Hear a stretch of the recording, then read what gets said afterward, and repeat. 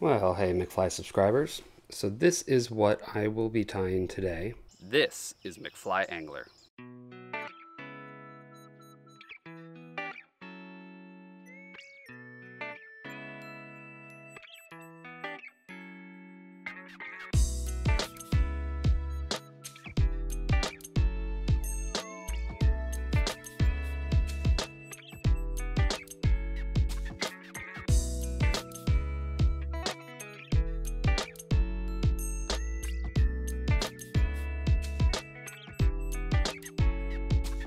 Starts now.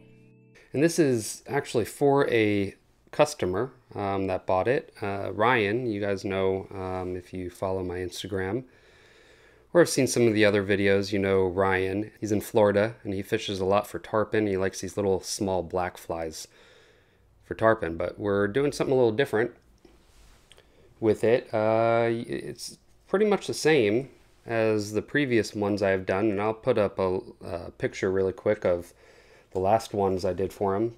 The only difference is these have a, a squirrel tail, so you want to put the hook securely in your vise, of course, and the hook I'm using today is a Gamakatsu SL12S, which is the short. These are pretty strong hooks and fairly sharp as well. Great little tarpon hooks.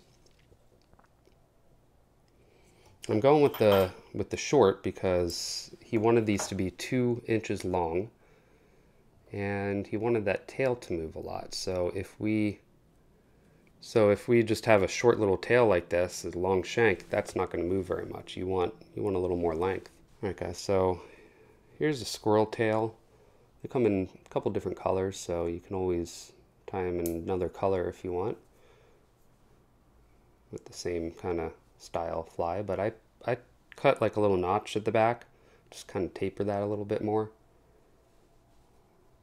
And then a lot of times these get matted down and shaped weird, so um, we are going to measure this out. You want it, as you can see, about there. So we're going to do the same thing with this one. So wherever you have it, you want to pull back the fibers here. I'm going to wet them just to make sure they stay back. Okay, you want it right on top. We're just going to make two really tight wraps right on top.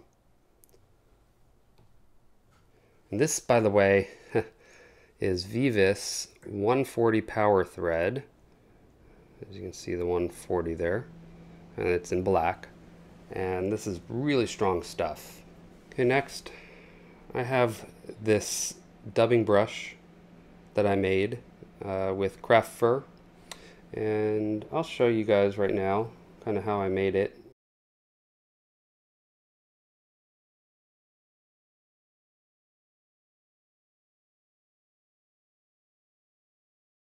But basically I just lay craft fur down and then on top of that I put a little bit of flash okay? And then you spin it up and it's uh, creates yourself a brush. If you have a uh, dubbing table if not you could always do a dubbing loop and do the same thing but I find that the brush is much easier more durable as well. All right so we are gonna pull off a little bit to expose the wire and then we're just going to tie this in with two wraps on the side pull this up.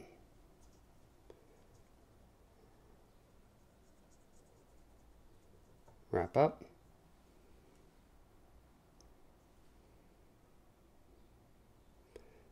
Now you can see I separated but a little further past the hook eye there okay? Because I want to get a little bit of the fiber in and that'll create a bushier head.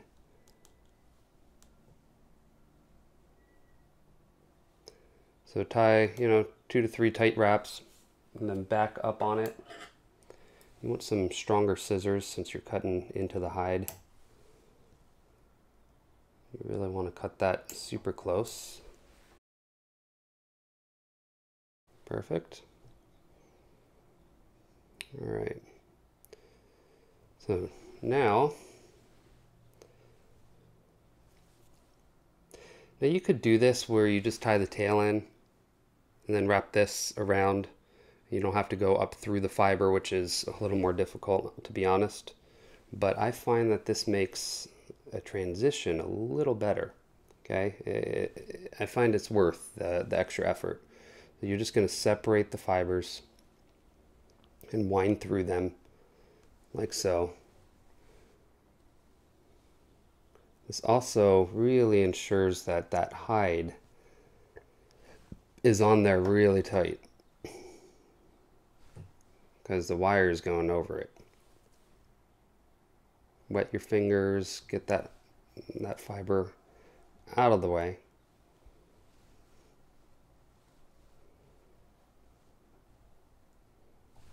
Okay. You can pull back everything like so. Wrapping over it. There you go. I like to make two wraps right in front and then you just capture the wire. You want to try to trap as little of the fiber as possible. Try to get just down to the wire. So two wraps over it. Pull everything back, wet your fingers, make sure all those fibers are back. Wrap back up on it. You can actually, since it's wire, you can helicopter it off. Now this brush wire that I use for the dubbing brush, it's a little more stretchy, kind of flexes a little better, which makes it not break off as easily, but also makes that a little harder. You could tell that was uh, just a little longer to to kind of helicopter it off, but it will work. All right, so once you do that, then you are done with the tying portion. You can go ahead and whip finish. It doesn't have to be a crazy whip finish. Four or five turn is just fine. After you do that, you just want to pick this out, make sure that there's no trap fibers, which can happen. Okay. So personally, I like a little bit longer fiber in the head here, like this. Can see it kind of wisps back and transitions nice into that tail. I like that look, but the customer of mine that uh, he wanted this a little shorter, as you can see that's a little shorter, right? Those fibers. So I just trim it. We're going to do a little bit of trim. Just transitioning into that tail. And we're going to going to trim the side as well. But we'll finish up the trimming after we add the eyes. We're just going to get a rough trim here.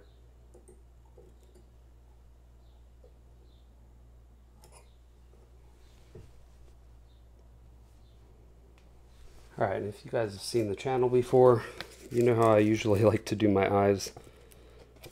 Everyone has their own way of doing certain things, and this is my favorite way to add eyes. So I just take a gel type super glue,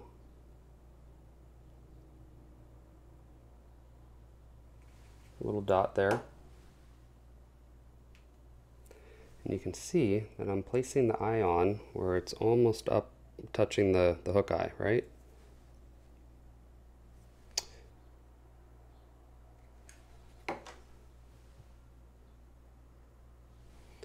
All right, so those, you want to make sure that they're even. You can see on the front, up top, they look even, but you also want to take it out of the vise and look at it head on. It actually turned out pretty well. There's a little adjusting that need to happen. There we go, make that even, and then you want that to dry. All right, so once that dries, I have this. It's Solarez Ultra Thin, or actually, sorry, the regular thin, the thin hard formula. Um, we will be using the Ultra Thin in a second, but this has a nice little uh, tip on it. Now they don't sell these anymore, the metal ones, but the plastic ones are just as good. They have some plastic um, tips, and those are, you know, they're really fine. It allows you to get in. You can see there's like a little cavity in between the eyes there.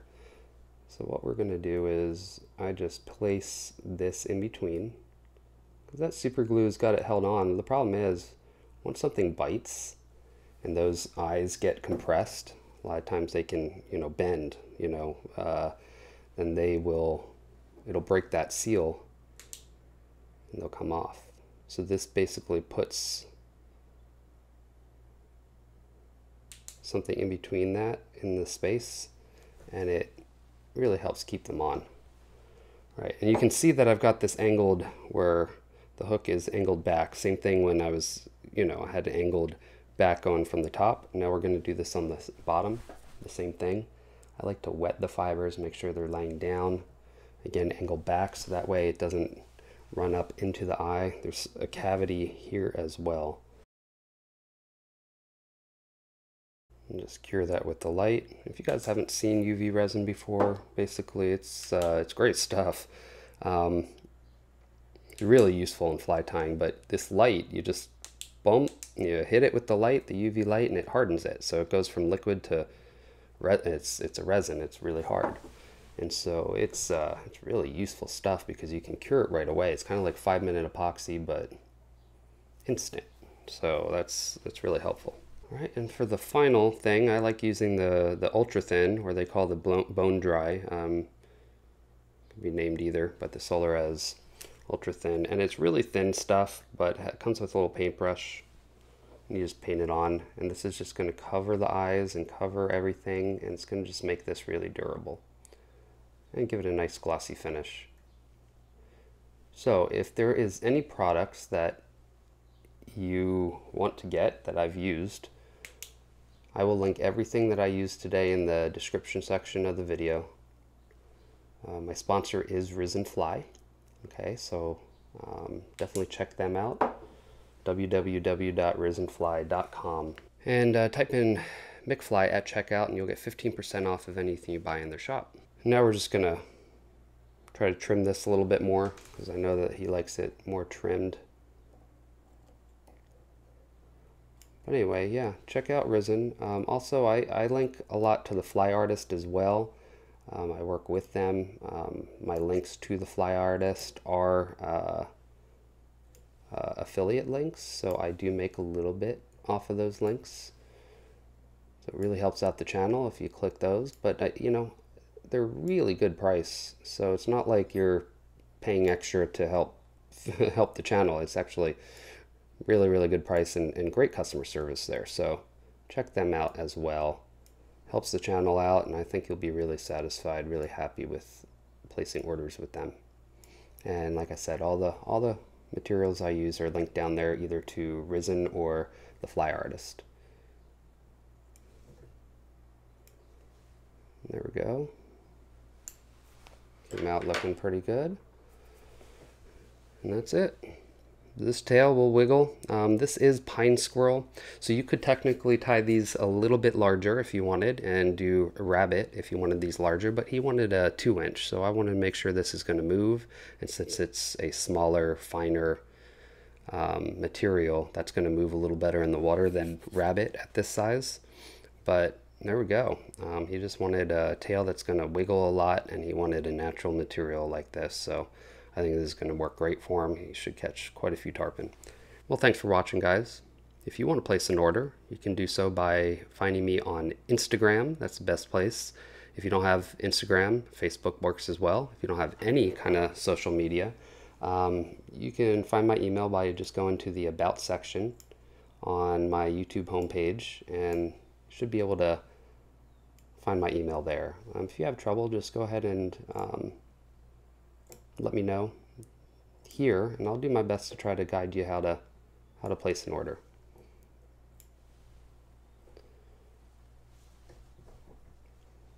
Well, I will see you guys in the next video. Now you go catch some fish.